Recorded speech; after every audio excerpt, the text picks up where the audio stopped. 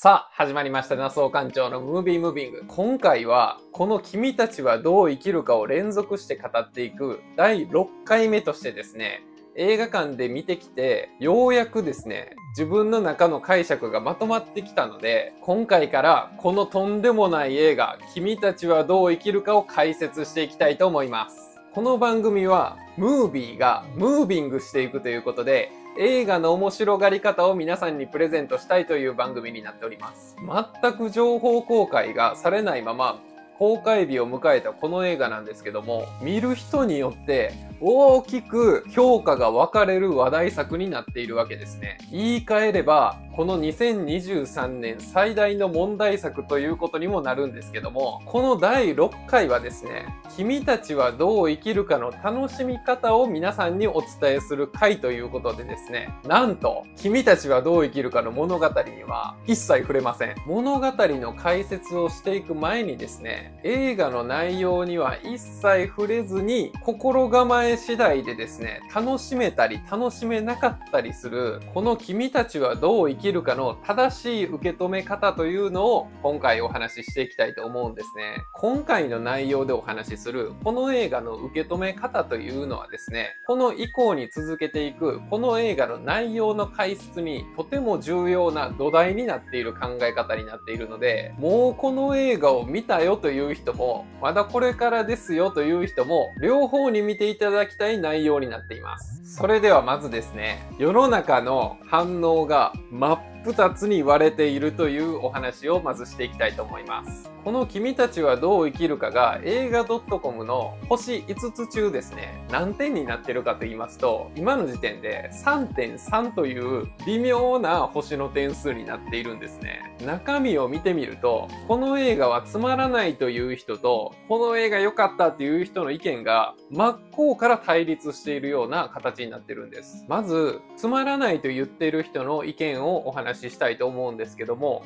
チャンネル登録者数が25万人を超えている某 YouTuber さんがですね、これを見て泣いてるバカがいるのと、感動したり泣いてる人は ADHD が自閉症であるというような発言をして、僕非常にショックを受けたんですけども、そんな怒ってる人もいてますし、Twitter などを見てますと、否定的な意見を言ってる人の意見としてはですね、何も伝わってこないとか、よくわからないとか、か尻滅裂であるとかっていう意見が目立つんですね。一方ですね、良かったよという人の意見としては、とにかく最後泣けたとか、宮崎駿の集大成とか、人生の総集編みたいな褒め言葉があって、評価がむちゃくちゃ低い人がいる一方で、今までの中の最高傑作っていうぐらい大絶賛してる人もいるという、とんでもなくカオスな状態になってるんですね。これがなぜなのかと、なぜここまで評価が割れているのかということをこれからお話ししていきたいと思います。この映画、一つだけ注意しておかないといけないのが、子供に見せるもんではありませんでした。結構残酷なシーンであるとか、流血も多いですし、気持ち悪いキャラクターとかもいっぱい出てくるんで、今からお子さんを連れて映画館に行こうかなという人は、もう一旦やめていただいて、あの、トトロ見せてる方がいいと思いますね。なので、今回の映画、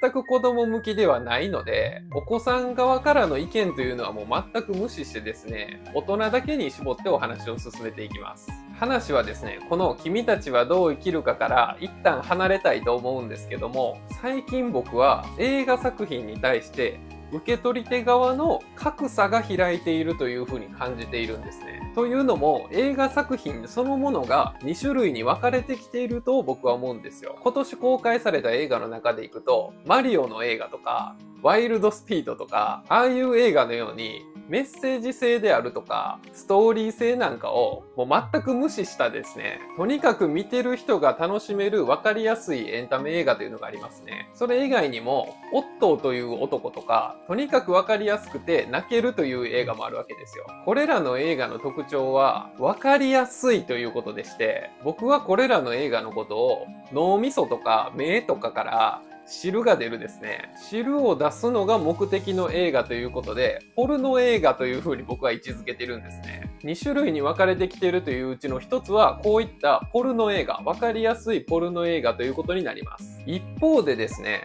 フェイブルマンズとか、イニシェリン島の精霊とか、ターみたいな、メッセージ性や社会の情勢、そして複雑なテーマなどを盛り込んだ、わかりにくい映画たちっていうのが一方であるんですね。これらの映画は、先ほどのポルノ映画というのと真逆で、特徴はわかりにくいということなんですけども、こういうのを僕はアート映画という風に位置づけてるんです。アート映画というのはまさにアートイコールですね。芸術作品という側面がありまして、見る人によって解釈がバラバラになると。いうところがあるんですね。逆に分かりにくさゆえの受け取り手側の解釈が分かれるところそのものがそういった映画の魅力になってるわけです。このように映画というのは分かりやすいポルノ思考の映画か分かりにくいアート思考の映画かというこの2つに分かれると皆さん思ってください。僕が専門にしているのは分かりにくいアート映画の方で映画の面白がり方を皆さんにプレゼントしたいというこのムービームービングの番組のコンセプトにもなってるんですけどもアート思考の映画はいろんな解釈ができるんですけどこういう解釈をしたら面白い白いかもしれないよというお話を僕はいつもしているわけですね。なんですけど、僕自身もですね、たまにあのポルノをたしなむということがありまして、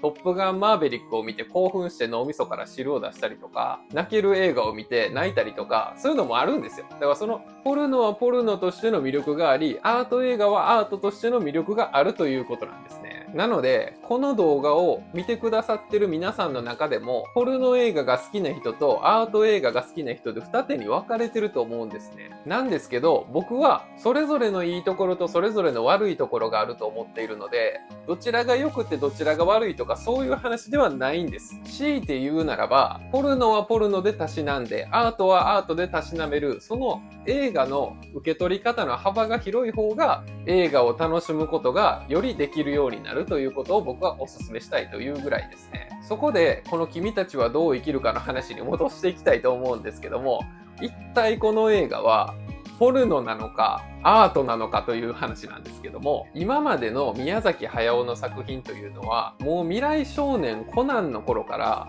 もののけ姫まではですね、子供が見ても楽しめるような分かりやすいポルノ映画の様相を保ちながらですね、その枠の中で分かりにくいアート要素というのを実は入れているというハイブリッド型の監督なんですね。もののけ姫まではそのポルノとアートのバランス感がとっても整ってたんですよ。しかし、千と千尋の神隠し以降ですね、だんだん物語がカオスになっていくという傾向が強くなってきまして、ついに風立ちぬになるとですね、子供たちでも楽しめるポルノの要素というのは一切なくなりまして、アートの映画になってきたわけですね。それは、ホタルの墓以降ですね、アート映画をずっと突き詰めてきた師匠の高畑勲の影響が大きいんですけども、それはまた機会があれば語ります。そして今回のこの君たちはどう生きるかについてはどうなのかと言いますと、もうゴリッゴリのアート映画なんですよ。なので、冒頭で紹介したつまらないという人たちの意見なんですが、なんか彼らは怒ってるんですけど、その中で多いのが、わからないとか、わかるように作れっていう意見が多いんですよ。それは、要は、宮崎駿が不親切な作品作りをしているということを指摘しているんですけども、この映画が理解できていないと思っている自分自身に腹が立ってるというところもあると思うんですね。それもそのはずで、宮崎駿を自身が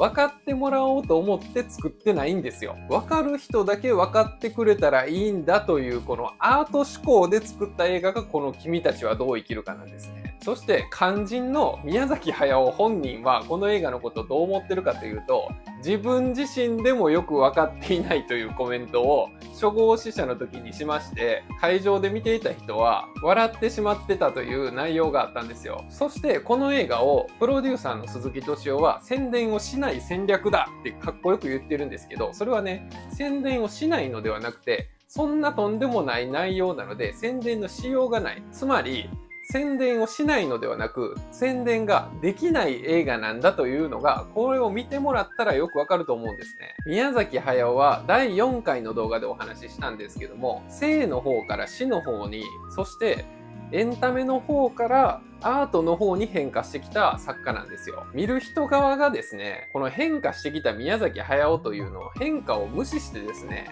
昔のトトロとかナウシカとかラピュタみたいな宮崎作品が見たいと思って、そういうイメージで見に行ってる人は、今回大きな裏切りを受けるわけですよ。だから世の中に戸惑ってる人が多いんですね。現代美術の村上隆が twitter で発言していた内容なんですけども、この映画は映画ファンではなく、美術館に行くのが好きな人におすすめしたい作品ですということで、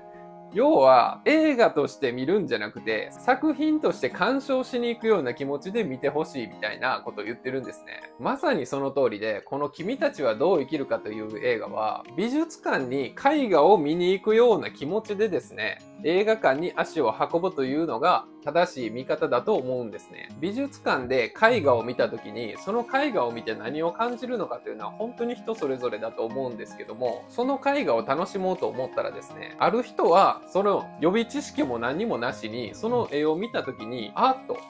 ピンときてですね、涙を流してしまうという人もいればですね、その作家の人生や思想であるとか、当時の時代背景を勉強して、その絵の良さを理解していくというタイプの人もいると思うんです。一方では、この絵の何がいいのかわからないということでスルーしていく人もいると思うんですけども、それがアート作品なんですね。アート作品というのは、本当にいろいろな楽しみ方もいろいろな解釈もできるんですね。そのアートの楽しみ方、たしなみ方というのをですね、もともと癖づいてる人であれば、この君たちはどう生きるかを見た時に、大好物が目の前に来たみたいな、どうとでも解釈できるような内容がカオスに詰まってて、この映画を解釈するの楽しいぞということで今ウキウキしてると思うんですけども、アートをそういう風に楽しんでいこうという思考がない人にとってはですね、何のこっちゃわかんない映画になってるわけですよ。それが、この映画が面白くないという人と、面白いという人の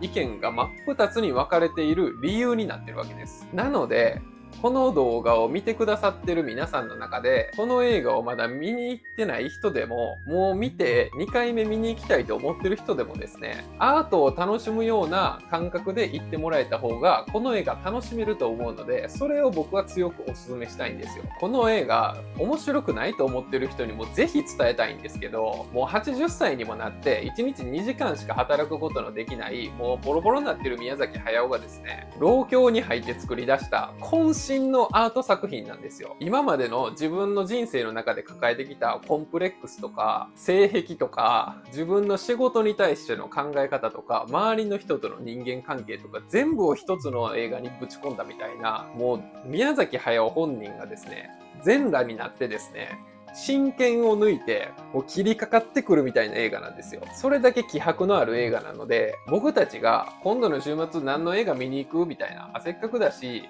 君たちはどう生きるか見よっか、みたいな軽いノリで入っていくと、もうバチーって切られてしまうわけですよ。こんだけの宮崎駿の気迫が詰まった内容なんです。なので、受け取り手側の僕たちとしては、練習試合にちょっと行ってみるかみたいなノリじゃなくてですね、向こうが真剣抜いてきてるんだったら、こっちも真剣を抜き返して、刀を交わらせるような映画とのこの付き合い方みたいなのをしていかないと、宮崎駿に押し負けてしまうわけですよ。この映画の正しい見方ということでですね、カルト映画の帝王と呼ばれているデビッド・リンチっていう監督がいるんですけど、映画好きな人なら誰でも知ってる監督なんですけども、デビッド・リンチも今回の宮崎駿と同じでですね、いろんなことこう考えすぎて作ってるんで、もう自分で何作ってるかわからないって言ってるんですね。なんで、肝心の本人も正解を知らないと。なんですが、その映画を見た一部の熱狂的なファンたちがずーっと長い時間かけて、あれはこうなんじゃないかとか、これはこういう意味なんじゃないかとかって言って考察するわけですね。それがまさにカルト映画なんですけど、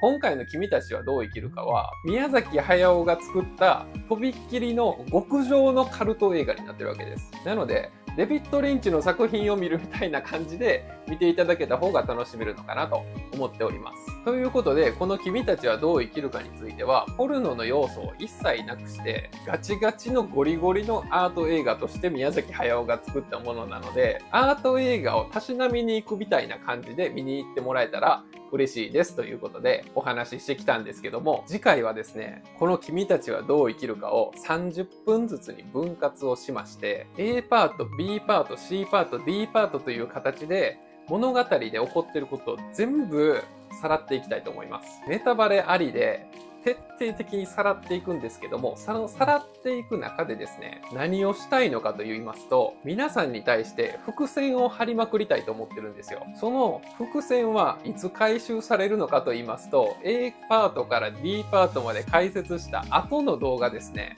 後の動画でその1個ずつのものに対しての解説をしていきたいと思うんですね。例えば、生から死の世界へ行って死の世界からまた生の世界に行く宮崎駿が抱えている死生観であるとかインコとペリカンに何を象徴させたのか各キャラクターのモデルになっているのは誰なのかとか13個ある石の積み木はこれは一体何なのかとか宮崎駿はロリコンだと思われてたんですけど、ロリコンではなく、マザコンだったという話とか、などなどについてですね、この君たちはどう生きるかという映画は、いろんなポイントからお話しすることができるカオスな内容になっているので、一つ一つの軸に基づいて解説をしていく必要があるんですけども、その一つ一つの内容をですね、もう僕がこの君たちはどう生きるかをもう味わい尽くしたいと思っているので、気が済むまで続けていこうと思ってるわけです。それぐらいですね、この君たちはどう生きるかってどんな映画って聞かれたら、こういう映画でしたという一言で表現できる言葉がないんですね。なので、この映画つまらなかったという人はもちろんなんですが、面白かったで泣けたという人もですね、なぜ自分が面白いと感じたのか、なぜ泣けたのか、その謎はですね、解明できる人がかなり少ないと思うんですよ。それはこの映画がとても複雑な構造でできている映画なので、一つ一つの要素を分解してですね、一つ一つ整理していくことで、ようやく頭の中で理解できてくるという面があるとは思うんですね。なので、それを一つずつ解説していきたいということで、このね、ナスオ館長のムービームービングはですね、今までいろんな映画について話をしてきたんですが、もうしばらくですね、君たちはどう生きるかのことばっかりになると思うので、僕も真剣を抜いて、真剣勝負でですね、皆さんに提供するこの動画の内容をですね、本気で作っていきたいと思いますので、もしかしたらもう誰もこの君たちはどう生きるかの話もしなくなってるのに僕だけ話してるみたいなことになるかもしれないんですけど、もうこの君たちはどう生きるかのもう専門の解説屋さんだと思って、え、これからもですね、応援していただければと思いますので、えー、長い間ですね、この動画を見てくださった皆さん、ありがとうございます。次回から本格的に内容の話になっていきたいと思いますので、次回もお楽しみにしてください。チャンネル登録もよろしくお願いいたします。ということで、皆さんご来場ありがとうございました。